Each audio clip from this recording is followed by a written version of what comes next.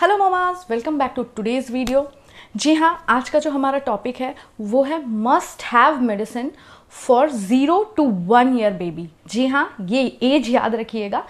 नवजात जो new born baby है वहाँ से वन ईयर तक के बेबी के लिए क्या क्या मेडिसिन मस्ट हैव है, आज मैं उसी का वीडियो बनाने जा रही हूँ।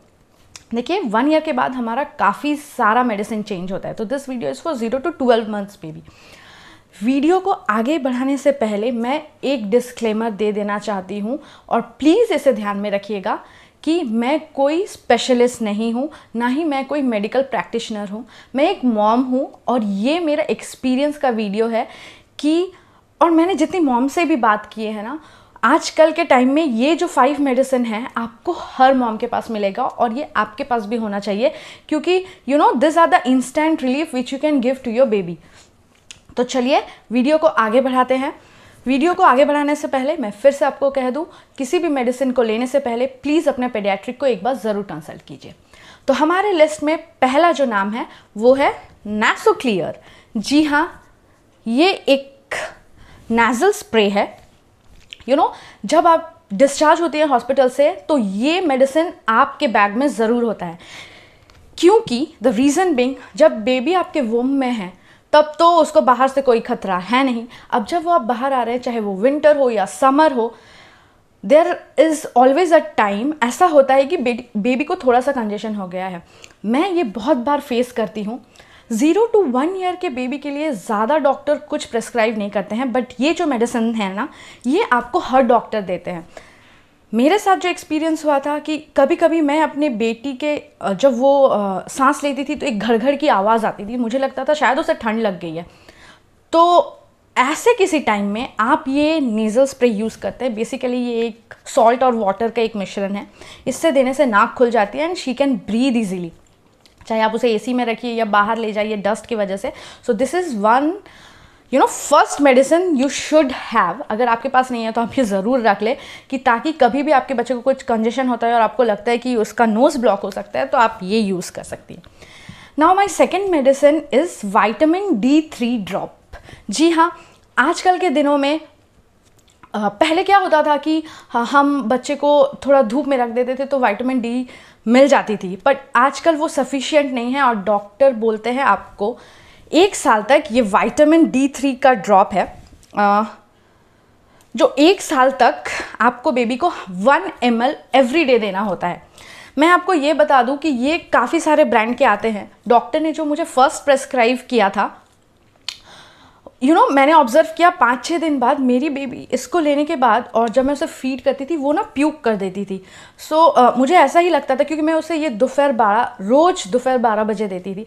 तो मैंने डॉक्टर को जाके कहा शायद ये उसे सूट नहीं कर रहा है क्योंकि ये you know after breast feed वो थोड़ा प्यूक कर देती है। सो so, डॉक्टर ने उसका ब्रांड चेंज किया and this this is a D three must drop oral drop है। तो अलग अलग पेडियाट्रिक अलग अलग ब्रांड देते हैं। तो ये आजकल के टाइम में बहुत इंपॉर्टेंट है you know for vitamin D three so yes this is the second medicine in my list which you can मेरे लिस्ट में जो थर्ड मेडिसिन है वो अभी मेरे पास यहाँ पे है नहीं बट वो आजकल के आपको सब मामाओं के पास मिलेगा। जी हाँ वो है कॉलिकेट या न्योपेप्टिन यू नो ये दोनों एक ही दवाइयाँ हैं बट अलग अलग ब्रांड्स हैं दोनों का काम एक ही है। आजकल के टाइम में आप मैक्सिमम देखेंगे कि बेबी प्री मैच्योर होते हैं you know thirty seven week thirty six weeks में ही बेबी हो जाते हैं। तो उनका मैक्सिमम ऑर्गन डेवलप नहीं करता और स्पेशली जो ये मेडिसिन है नियोपेप्टिन या कॉलिकेट वो कॉलिक बेबीज़ को दिया जाता है। You know this is a very new term colic babies जी हाँ। आजकल के टाइम में आप देखेंगे बच्चे को आप ब्रेस्ट मिल्क दे रहे हो या फॉर्मूला मिल्क दे रहे हो या जो भी दे रहे हो, वो क्या होता है, वो रोने लगते हैं। डिस्कम्फर्ट आपको पहले पहले पता नहीं चलेगा कि क्या हो रहा है. देन यू नो मेरे साथ तो ये सेकेंड डे से ही स्टार्ट हो गया. हमने डॉक्टर को ऑन द सेवेंथ डे जब फाइनली हमने उनसे कंसल्ट करा. सो so, डॉक्टर ने एक वर्ड बताया कि your baby is a colic baby okay now colic baby हमने रिसर्च करने के बाद देखा कि बेबी को स्टमक इशू है वो.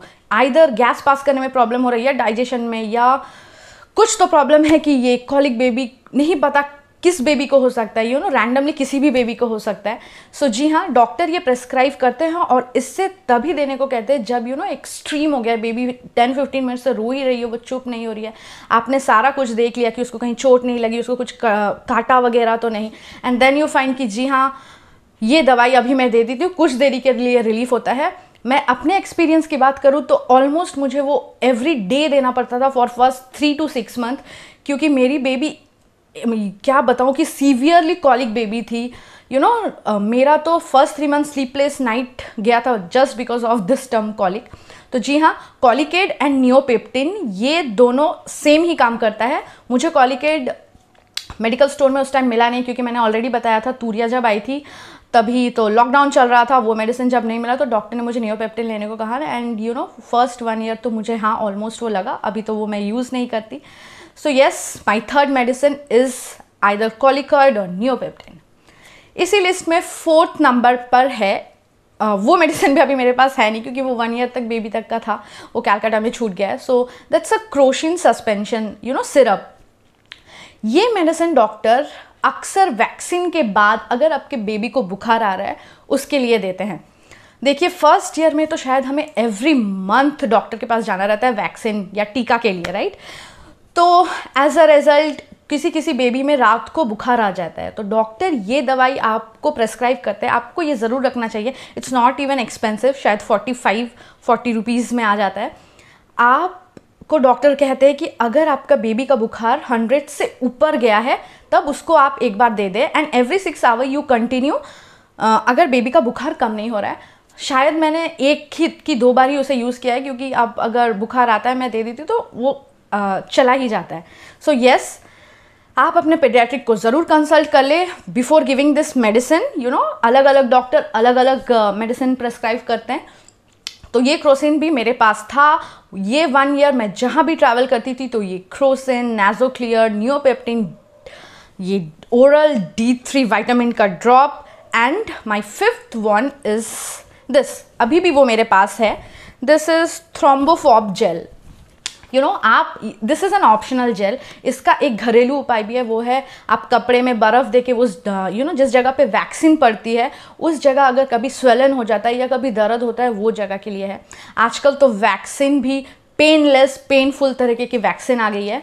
सो यू नो मैंने ये तभी ख़रीदा था क्योंकि एक बार जब मेरी बेबी थ्री मंथ्स की थी uh, मेरा एक्सपीरियंस एक वैक्सीन के साथ बिल्कुल भी अच्छा नहीं था। उसको लेने के बाद उसके लेग में एक स्वलन सा जगह आ गया और ऑलमोस्ट वो वन मंथ तक था। यू you नो know, फिर क्या हुआ जब हम डॉक्टर के पास गए and we got a gel कि एटलीस्ट वो जगह पे कुछ रिलीफ मिले। So this is an extremely optional है और ये भी आपको डॉक्टर अगर दे तभी आप ले अदरवाइज़ इसके रिक्वायरमेंट नहीं है। अभी भी हमारा वैक्सीन चल ही रहा है तो ये जल मेरे साथ रहता है कि जब भी वो वैक्सीन लेके आती है मैं इसको थोड़ा डाल देती हूँ very you know cheap medicine और ये आपको एक साल तक ज़रूर लगेगा।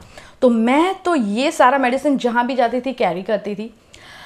नाउ ये तो हो गया मस्ट मेडिसिन यू हैव इसके अलावा शायद ही आपको कुछ मेडिसिन लगता है एंड डॉक्टर प्रेस्क्राइब की you know you give your breast milk so yes मेरा जो फाइनल आपको एक टिप है वो यही है कि इसके अलावा अगर आपको बेबी को कहीं कट जाता है यू you नो know, या मस्कीटो बाइट्स है या नील क्लिपिंग के बाद हाथ थोड़ा सा कट गया, या वो अपने नाखून से ही यू नो अपना चेहरा, आप मिटन्स लगा के रखते हो, फिर भी अपना चेहरा काट ले। So you can give breast milk you know this is one of the best medicine which मेरे पेडियाट्रिक ने मुझे कहा था कि अपने बच्चे को देने के लिए उससे ज़्यादा कुछ अच्छा नहीं होता। अगर आप का बेस्ट मिल्क नहीं हुआ है तो the second option is you can use आप उसके फेस पे जो क्रीम यूज़ करते हैं वो fluoride free and paraben free होता है, वो थोड़ा सा उस जगह पे अप्लाई कर ले। So this is from my side I hope कि इस वीडियो से आपको कुछ भी हेल्प मिला होगा कि you know this this medicine किस किस काम के लिए आता है, और आप भी थोड़ा चेक कर सकते हैं कि आपके पास वो मेडिसिन है कि नहीं। और इससे रिलेटेड आपका अगर कुछ भी क्वेश्चन है तो प्लीज़ कमेंट बॉक्स में लिखिए, मैं उसका ज़रूर रिप्लाई करूँगी। डिस्क्रिप्शन बॉक्स में मैं इसके सारे डिटेल्स डाल दूँगी, आप वहाँ भी देख सकते हैं। And thank you for watching the video